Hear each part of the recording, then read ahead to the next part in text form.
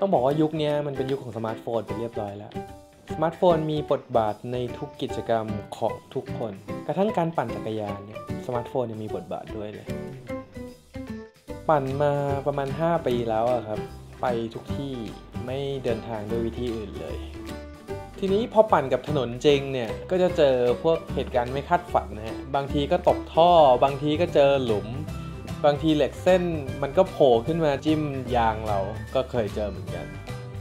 ปั่นคนเดียวฮะก็ต้องแก้ปัญหาเฉพาะหน้าอย่างเดียวทำอะไรมากกว่านี้ไม่ได้จริงปกติผมก็ใช้บริการขนส่งสาธารณะอยู่เป็นประจำอยู่แล้วครับ อย่างเช่นพวกรถเมล์หรือไม่ก็เดินเท้าเราก็จะมีปั่นจักรยานอยู่บ้าง แต่ว่าถนนหนทางในเมืองเราก็ยังมีปัญหาอยู่เยอะเหมือนกันครับ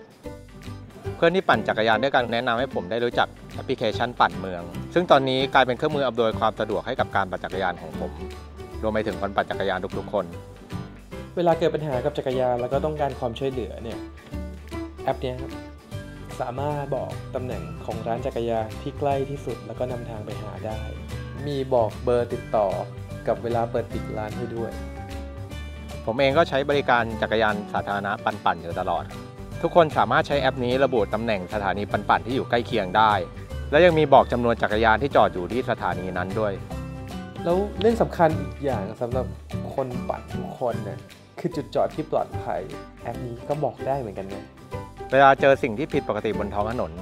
ทุกคนสามารถรายงานสิ่งที่เจอลงไปในแอปได้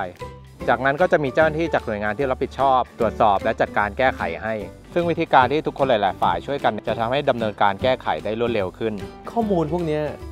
รวบรวมมาจากคนที่ใช้แอปนี้ทุกคนด้วยแอปพลิเคชันปั่นเมืองบนสมาร์ทโฟนทำให้คนตัวเล็ก ๆ มาลงมือจัดการอะไรสักอย่างต่อสังคมได้และถ้าทุกคนมาลงมือช่วยกัน การพัฒนาการเปลี่ยนแปลงก็จะเห็นเด่นชัดมากขึ้น สิ่งสำคัญที่สุดมันเริ่มต้นที่พวกเราทุกคนครับ